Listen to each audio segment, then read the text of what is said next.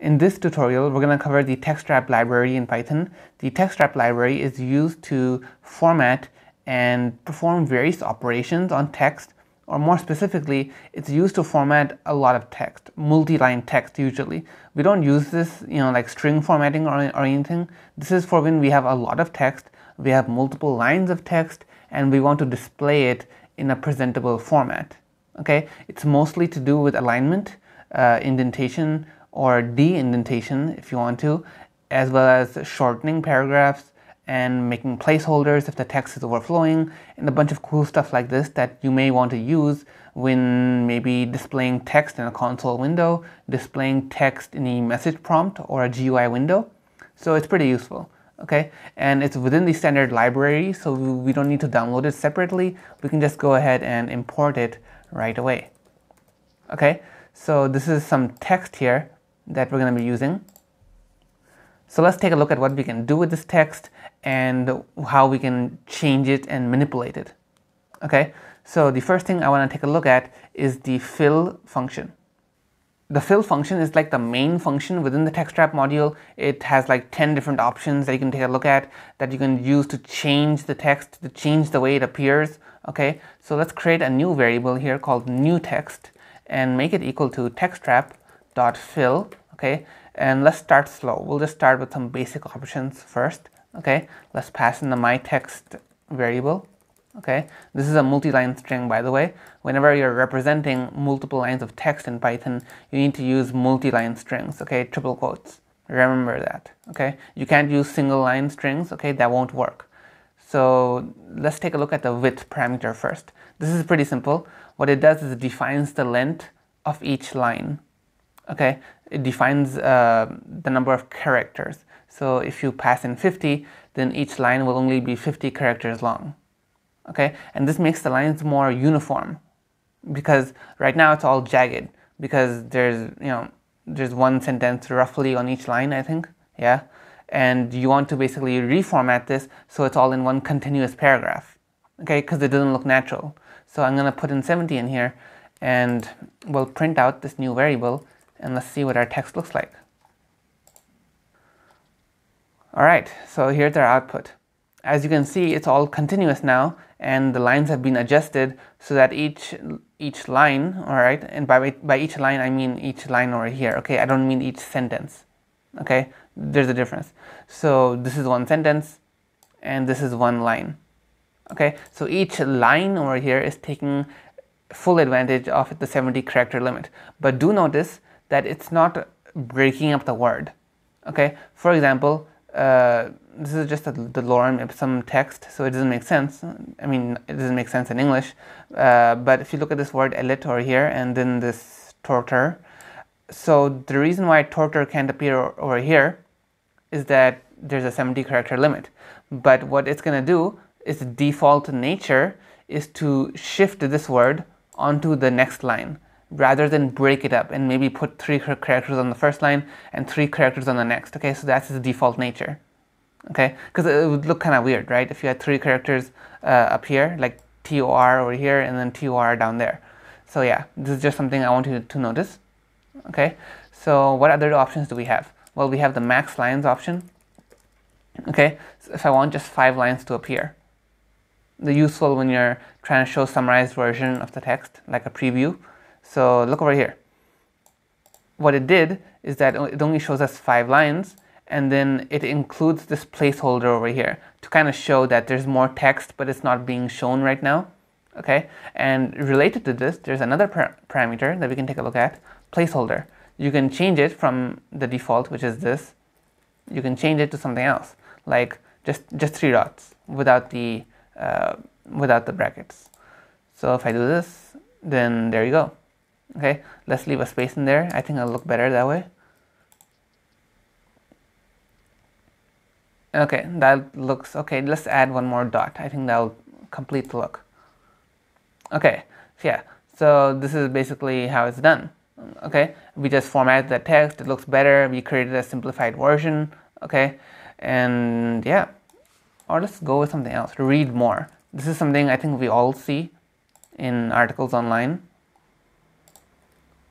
and you know just a couple of dots I want you to actually notice something because it's going to remove that word. Yeah. Uh, look over here. Over here, there's that word UT, okay, and then the triple dots. But as we increase the size of the placeholder, it actually removed that word. And the reason for that is because the placeholder also counts towards the 70 character limit inside each line. The next function is wrap, okay, and this is actually the same thing as fill. It's the same thing, but the only difference is, that it returns a list of the sentences. It doesn't return a multi-line string, okay.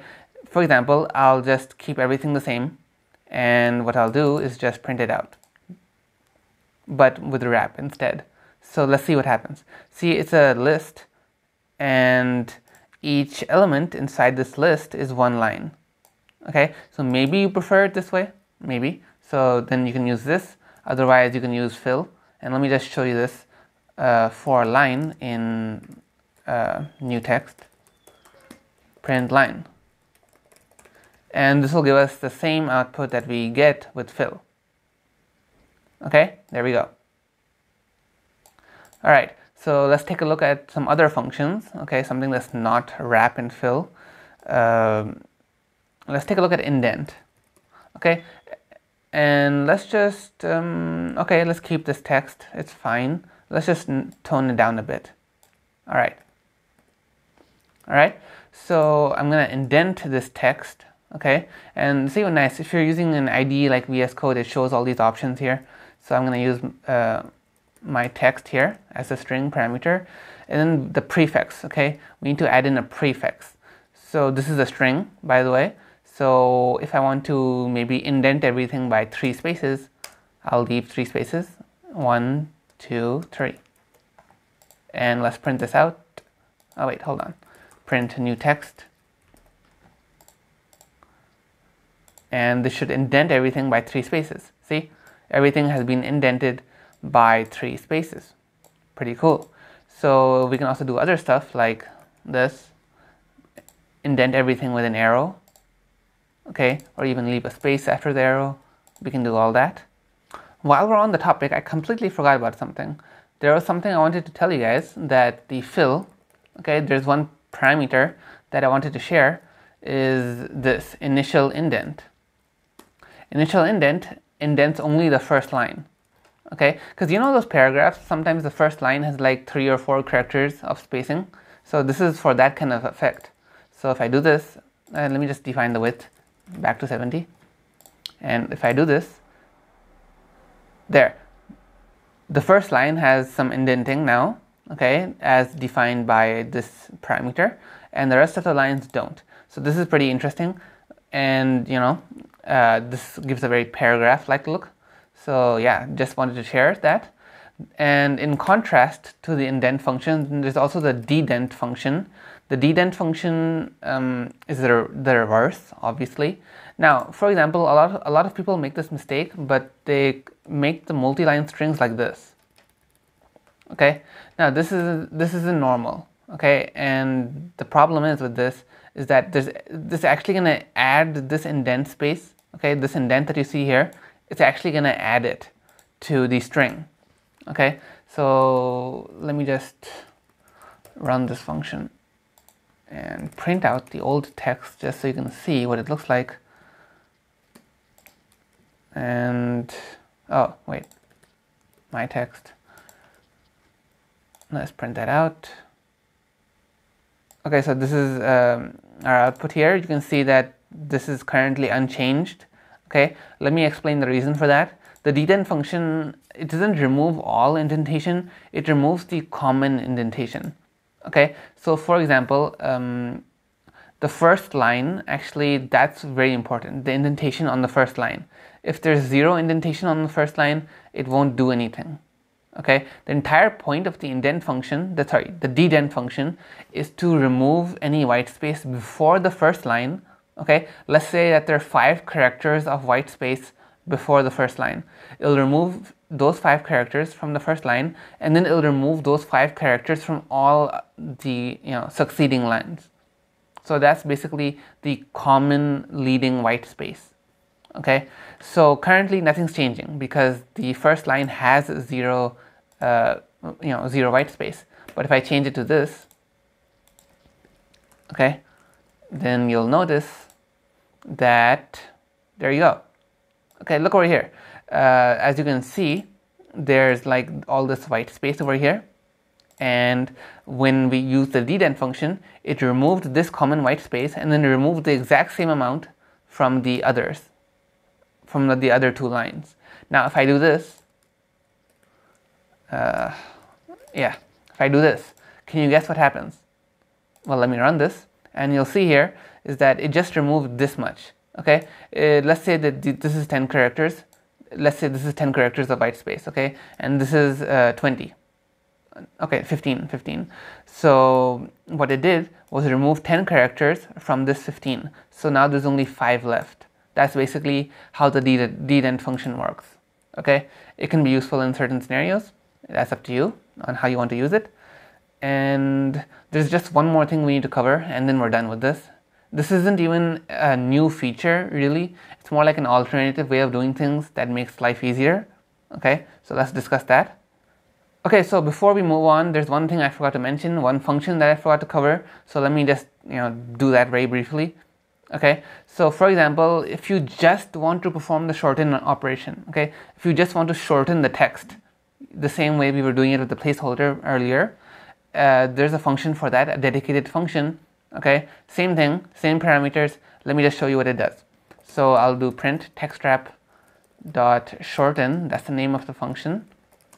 Then s2, I'll pass s2 in here. Then um, width, width can be 10, and then a placeholder, a custom placeholder, can be something like uh, read more. Okay or actually let's increase the text the, let's increase the width because the placeholder is going to take some space. So um, come on. There we go.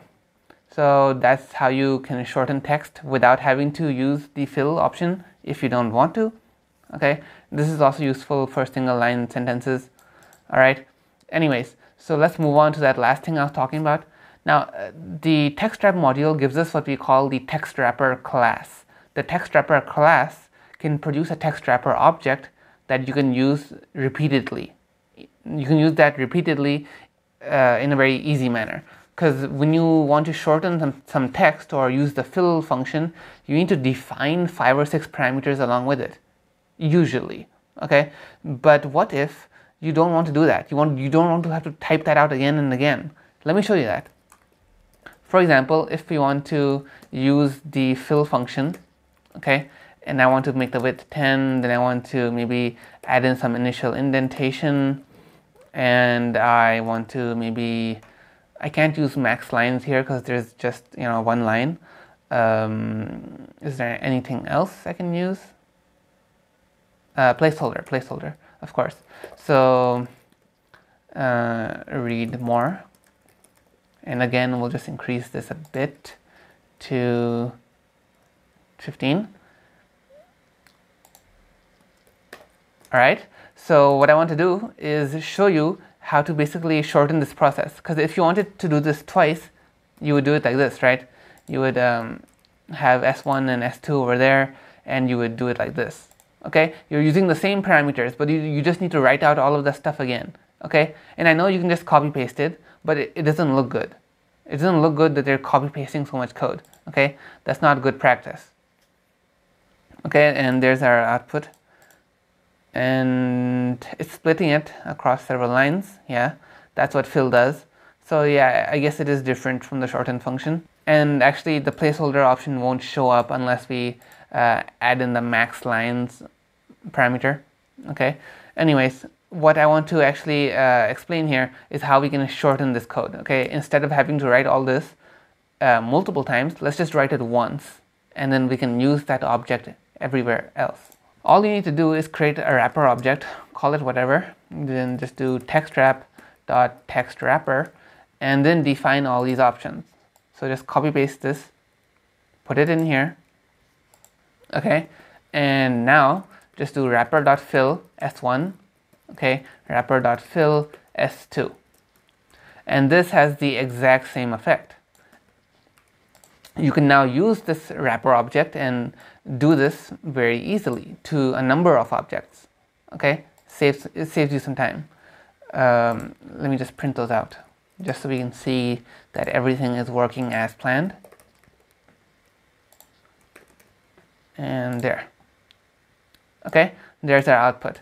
So this is also useful if you want to have multiple types of wrapping okay? Like you want to create one wrapper which maybe has a width of 10 and you know some different placeholders some different indentation options. Then you want to create another wrapper that has a bunch of different options. So you can create three or four wrappers like this then use whichever one you want to. So it's just define it once then you can use it as many times as you want to later without having to write out a bunch of code okay so yeah this is the end of our text wrap module tutorial and we covered pretty much every option and fine not every option but we covered every function. Okay there's still some extra options that you can take a look at. I'll leave a link to my website. You can check it out over there. There's like 10 12 different options for some functions. Actually just fill. Only fill has that many options. So yeah go check that out and do leave a like leave some comments let me know what you want to see in the future and do subscribe to the channel so you stay notified and I guess I'll see you guys in a later video